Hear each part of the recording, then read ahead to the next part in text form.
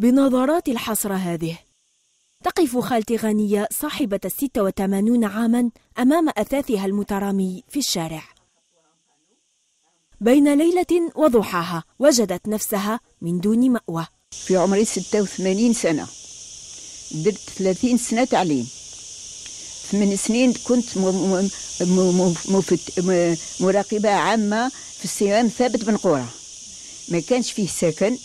سكنوني ان 1983 في في السيام ثابت بن كنت كنت في الكاهنة الجيسانت سكنوني في ثابت بن قورة ان 1983 ان طانك سوربين جينيرال دو الكاهنة. كملت كمفتشة عامة مفتشة تاع الفنون الجميلة. أما خديت التقاعد في 1993 حاولت ندير مقر العمري ولكن الظروف المادية ما سمحتليش كانوا عندي مشاكل أخرى. يدري بهم غير الله سبحانه عز وجل. لا أب ولا أخ ولا حتى زوج يقف سندا وراء هذه المرأة المسنة التي أفنت عمرها في تربية الأجيال. راني ما عندي حتى واحد والديا ميتين. خاوتي ماتوا. بقيت غير أنا ولاد خويا ولاد أختي كل واحد في دارو ما عنديش وين نروح ما عنديش وين نبات. راني نبات عند الجيران.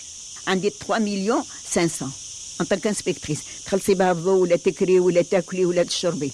وما زالوا المشاكل اللي قلت لك المادية اللي راهم يتبعوا فيا. راني في الشارع من هنا الخميس اللي جاوا ليا وطردوني. راني في الشارع راني بات عند الجيران وقت راه مقيوس. نطلب من السلطة المعنية دير لي حل هذا هذا الوضعية.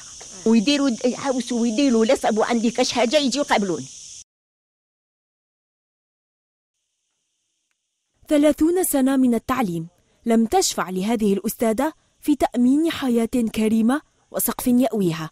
ما جعلها تستنجد بالسلطات المعنية لإيجاد حل لحالتها.